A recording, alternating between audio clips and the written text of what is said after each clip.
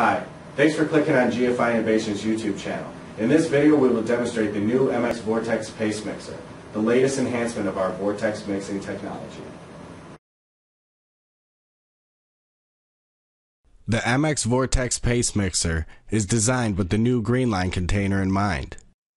The Greenline is a plastic liner designed to hold anywhere from 16 to 57.5 fluid ounces, or roughly 1 to 3.6 pounds of ink.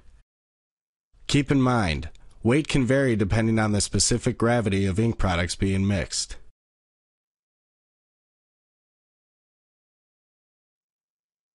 Always leave at least one inch of space from the top of the container to ensure enough space for the ink to mix thoroughly.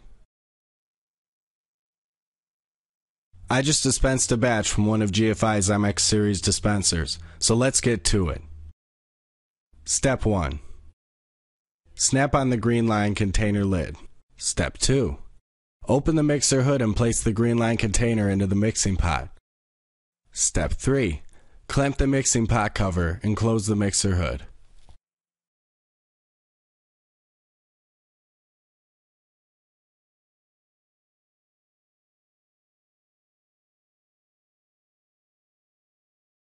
Step 4. This knob here is your speed control.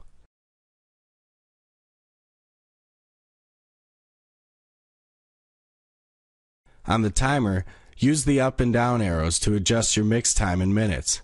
A typical mix time is around 5 minutes.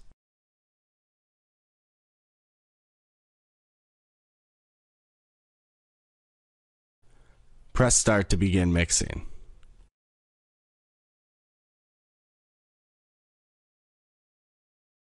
Let's open the mixer hood and unclamp our mixing pot cover.